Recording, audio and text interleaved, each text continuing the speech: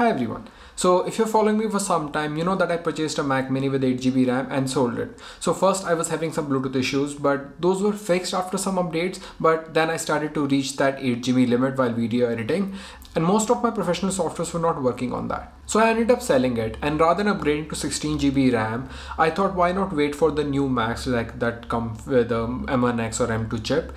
Uh, I also waited for WWDC but nothing got announced and I know a lot of you are doing the same but then I realized realized I I really don't have any expectation from Apple to release a new Mac Mini anytime soon. Another reason I sold my Mac Mini because of the virtualization support. Many of you know that I'm a software developer or a particular term DevOps. So virtualization is very important for my workflow. So I need to work with virtual machine and Docker.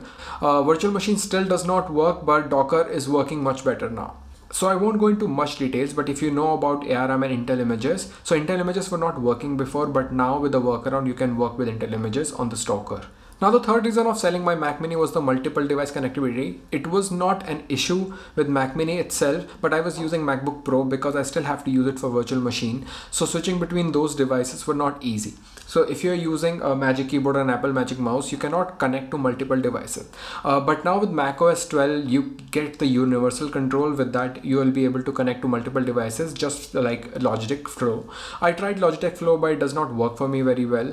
And the update of Mac OS 12 is around around the corner so i think that was another good reason so now i can at least connect uh, my macbook pro if i want to or otherwise i can just connect my ipad pro with just one mouse so there are multiple reasons I wanted to switch to M1 Mac Mini, but one of the main reason I switched to M1 because of the video editing performance. So my current MacBook Pro is uh, i5 2.3 gigahertz quad core 16 GB RAM, but it can barely handle a 4K video with 8-bit, and I work on best performance mode. I cannot even work in best quality mode and I have to turn off the background render just to work with this machine. Uh, but recently I purchased the Sony a7S III which I'm recording right now and it supports 422 10-bit and this machine dies like my MacBook Pro cannot handle normal 30 frames per second video but if I want to go with 4K 60 or 4K 120 with that high efficiency H265 my machine cannot even do anything like just shows me circle or there's just a lot of frame drops but surprisingly this m1 despite being so cheap machine like works really well with this a7s3 footage so there's nothing in the market right now that can perform this well at this price with Sony a7S3 footage or even if you want to go with 8K RAW or something like that. Uh, so the 16GB RAM version because I upgrade to 16GB RAM works beautifully with a7S3. So for the video editing alone is just a gift. I did not want to purchase another MacBook Pro as I already have one from my office so it doesn't make sense to have another laptop. So my main preference was Mac Mini and uh, I was not expecting Apple to announce another Mac Mini anytime soon because you know Apple love to crush our dreams. So uh, if I wait for another event and if Mac Mini does not get announced, I mean all that time for waiting for a little bit higher processing power or more RAM is just going to go into waste. So I rather purchased what we have right now I really don't have to show you benchmarks right now because this machine is out for a long time and you know how powerful it is. And this time I went with a 16 GB RAM. All the issues I was facing uh, while video editing or doing something else together are just gone. So it works really well. And the 16 GB RAM is like uh, I'm always using around 12 to 14 GB at max. So it never reached that limit and I didn't see the swap usage as of now. So I think the 16 GB RAM is really good. So if you're planning to get this machine I would definitely recommend go with 16 GB RAM.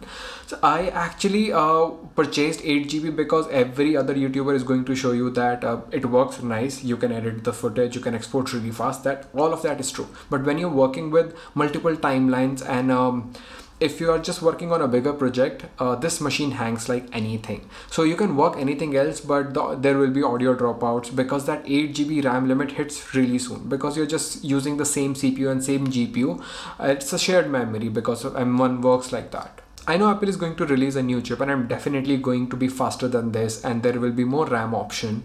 And if you're actually planning to go or buy a MacBook and two USB port are not enough for you I will definitely recommend you to wait but the ports on M1 Mac Mini are enough for me. Yes, I would love to have two more USB-C port, but I think I can deal with it.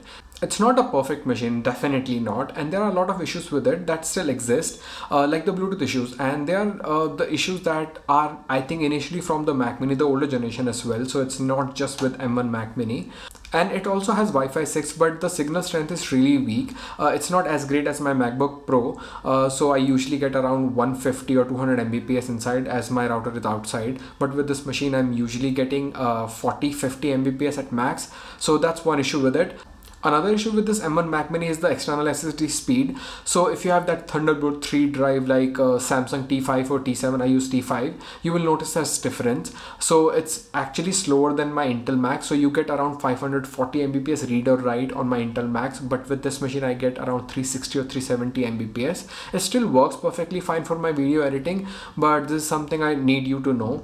So if you want to work with the higher speed, you need to get that Thunderbolt um, hub so that can convert that USB 4 to normal Thunderbolt 3 although it supports Thunderbolt 3 but I don't know why you don't get the same speed as the normal Intel Macs. So yeah, I think that's it. Uh, this was the main reason I got this machine. I am really happy with it. I am just going to use as a video editing uh, machine. I seriously cannot find a single machine in this price that can actually handle a video like this.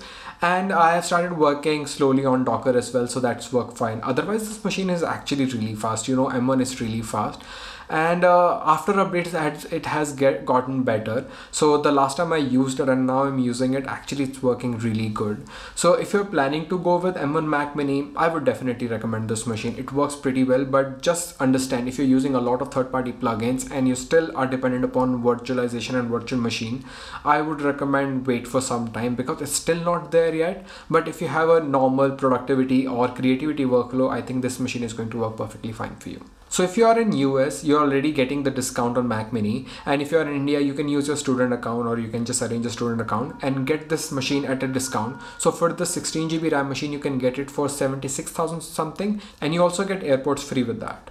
So if you have any question about this M1 Mac Mini, please ask in the comment box. My name is Rohit. I'll see you next one. Till then,